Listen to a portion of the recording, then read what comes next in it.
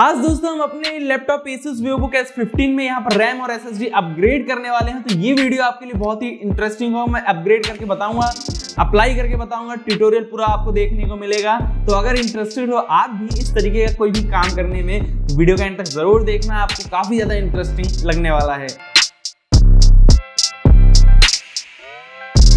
Guys आज से दो साल पहले मैंने ये लैपटॉप परचेज किया था जो कि है Asus VivoBook S15 अब ये लैपटॉप की अगर मैं बात करूँ दोस्तों तो ये लैपटॉप आता है आपका i5 8 जनरेशन प्रोसेसर के साथ में और साथ ही आपको इसमें वन टीबी की स्टोरेज के साथ 125 जीबी के एसएसडी और एट जीबी रैम देखने को मिलती है।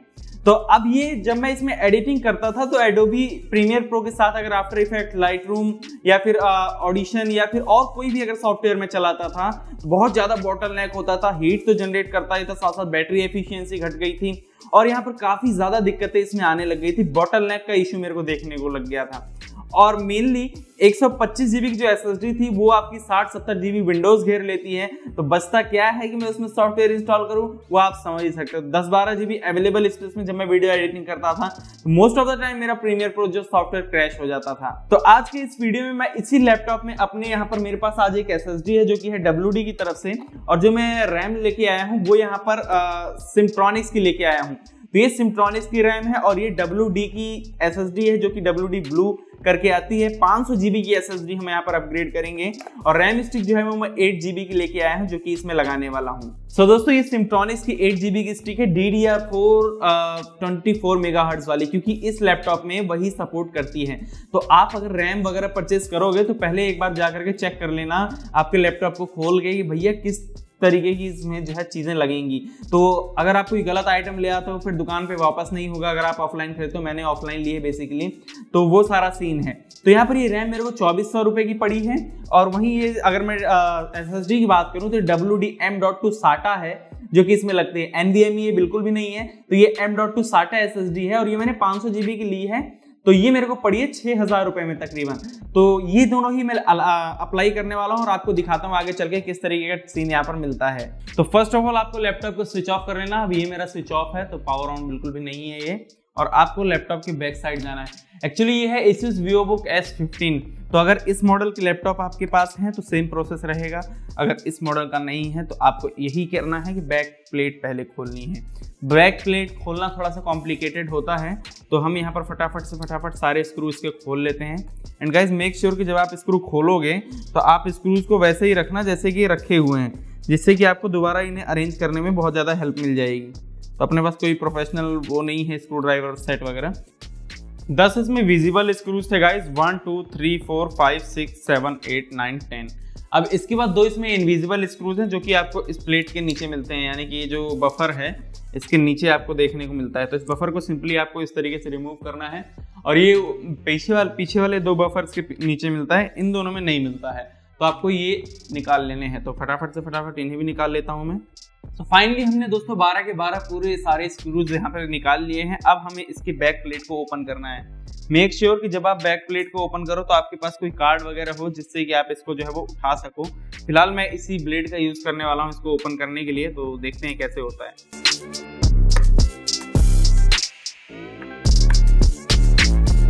तो मैं एक दो बार खोल चुका हूँ तब ये बड़े इजीली खुल जाएगा। फ़र्स्ट टाइम में बड़ी मशक्कत लग गई थी इसको ओपन करने में।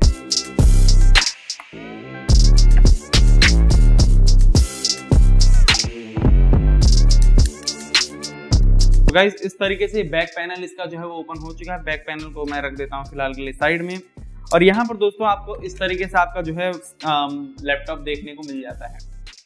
अब यहाँ पर लैपटॉप में आपको सारी चीज़ें दी हुई हैं। फ़र्स्ट ऑफ़ ऑल जो चीज़ आपको इंपॉर्टेंट है और जो मेक श्योर करनी वो गाइज़ यहाँ पर ये वाली आप देख सकते हो कि ये जो पॉइंट है, ये पॉइंट इसकी बात मैं बेसिकली कर रहा हूँ। ये पॉइंट आपको हटा देना है रिमूव कर देना है, क्योंकि ये है बैटरी का पॉइंट और बैटरी रिमूव होनी चाहिए जब भी आप ऐसा कोई काम कर रहे होते हो तो। तो मेक श्योर sure कि आप इस बैटरी को जो है यहाँ से रिमूव कर चुके हो।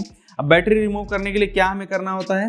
ये जो क्लिप है, ये छोटी सी क्लिप आप देख रहे हो यहाँ पर, और जो मैं नहीं कर सकता तो आपको ध्यान देना। इस क्लिप को आपको पीछे की तरफ़ पुश करना है। अब पीछे की तरफ़ मैंने इसको पुश कर दिया, उसके बाद ये जो पूरा पैनल दिख रहा है बैटरी की सप्लाई है तो अब इसको मैं नीचे से ऊपर की तरफ़ उठाऊँगा थोड़ा सा। ऐसे मैं इसको उठा दूँगा तो अब ये देख सकते हो, कुछ इस तरीके से निकल चुका है। तो इसको रिमूव कर देना है मेक श्योर ढाई साल हो चुके हैं गाइस को परचेज किए हुए तो काफ़ी कचरा जम चुका है। मैं फटाफट से फटाफट आपको इसके कंपोनेंट्स के बारे में बता देता हूँ। ये जो आप यहाँ पर ये देख रहे हो, ये है M dot two SATA S S D ये जो आप देख रहे हो, ये है वन टी बी की इसमें हार्ड डिस्क यहाँ पर आपको एक रैम देखने को मिल जाती है। एक रैम स्लॉट यहाँ पर खाली है। अब हर लैपटॉप में ये रैम स्लॉट खाली नहीं होता है, एक ही रैम स्लॉट होता है, लेकिन जो बढ़िया लैपटॉप होते हैं, उनमें अपग्रेड का ऑप्शन होता है। तो एक और रैम स्लॉट आपको देखने को मिलता है। तो यहाँ पर हम ये रैम अपनी अप्लाई करेंगे। यहाँ पे आपका प्रोसेसर है Intel i five eight generation ये आपकी हीट सिंक है और कूलिंग वगैरह जो भी है, आप ये कॉपर कॉइल की हीट सिंक देख सकते हो। ये बैटरी पैनल है, तीन बैटरी है इसमें। तो ये सारा सेटअप आपको यहाँ पर देखने को जो है वो मिल जाता है। तो हम यहाँ पर अपना ये वाला सिम्ट्रॉनिक्स की मैंने यहाँ पर रैम ली है। एक्चुअली इसको मैं निकाल चुका हूँ पैकेट से। तो इस तरीके से सिम्ट्रॉनिक्स की जो है वो रैम है एट जी की D D R four twenty four तो आप कोई और मत लेके आ जाना अदरवाइज़ वो लगेगी नहीं। या फिर दिक्कत करेगा आपका लैपटॉप तो आपके पैसे बेकार हो जाएँगे। तो आप देख सकते हो eight G B D D R four twenty four thousand mega hertz की रैम है सिम्ट्रॉनिक्स की तरफ़ से आने वाली। ये मुझे पड़ी है तकरीबन चौबीस सौ रुपए की। तो इसको लगाने के लिए सिंपली आपको यही करना है। कि यहाँ पर ये जो क्लिप है, इसमें आप पहले तो रैम को आपको जस्ट ऐसे अलाइन करना है और अलाइन करते ही ऐसे प्रेस कर देना है। तो ये जो नीचे की क्लिप्स हैं, वो ऐसे खुलेंगी बाहर की तरफ़ और जो है, इसमें सेट बैठ जाएगी। तो ये देख सकते हो, इस तरीके से दबाने से ये जो क्लिप्स हैं, यहाँ पर सेट बैठ चुकी है पूरे तरीके से।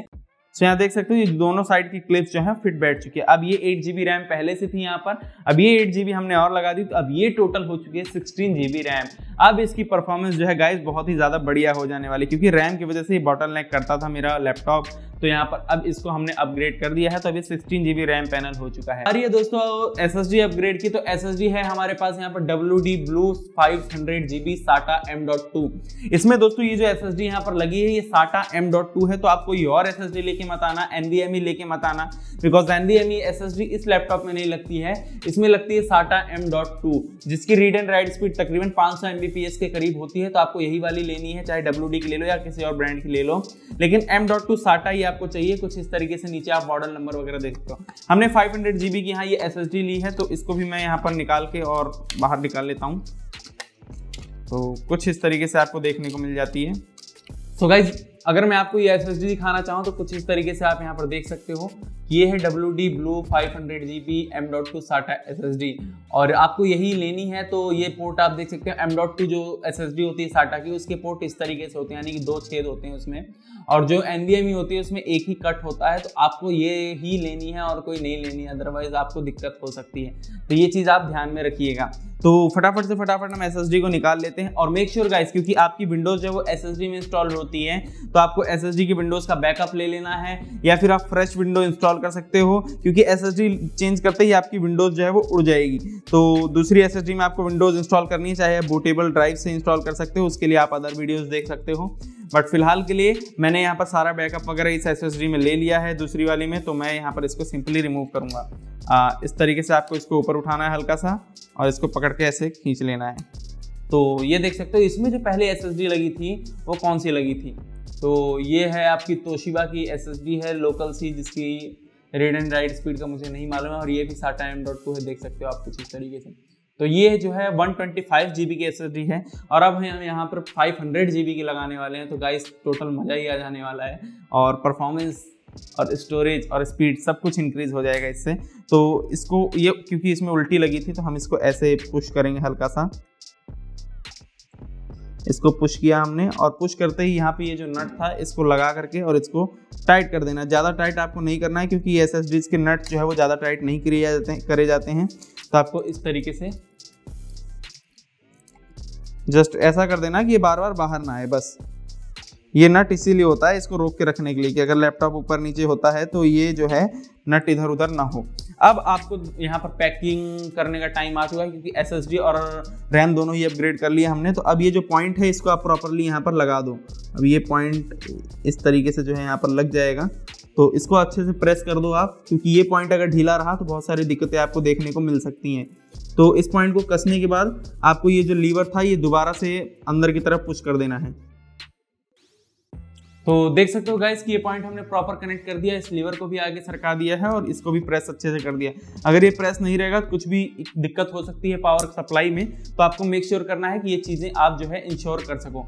तो फाइनली अभी हमारा जो है एसएसडी और रैम अपग्रेड हो चुका है। सिक्सटीन जी रैम हो चुकी है। एस एस की हो, हो चुकी है। तो अब इसको जो है पैकअप करने का टाइम आ चुका है गाइज़ और यहाँ पर अगर आप चाहो तो इसको साफ़ भी कर सकते हो। देख रहे हो कितना साफ़ है बट मैं नहीं करने वाला, मेरे पास टाइम नहीं है इतना।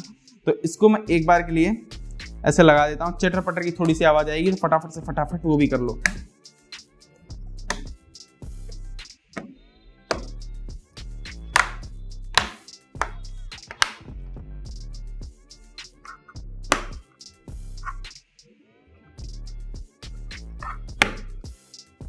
सो so गाइज़ अभी हमने नट वट लगा दी है, मैं यहाँ पर चेक करूँगा जस्ट डिस्प्ले तो आपको हल्के से खोलना है, क्योंकि ये हिंज जो है वो उसी के बैक से जुड़ा हुआ होता है।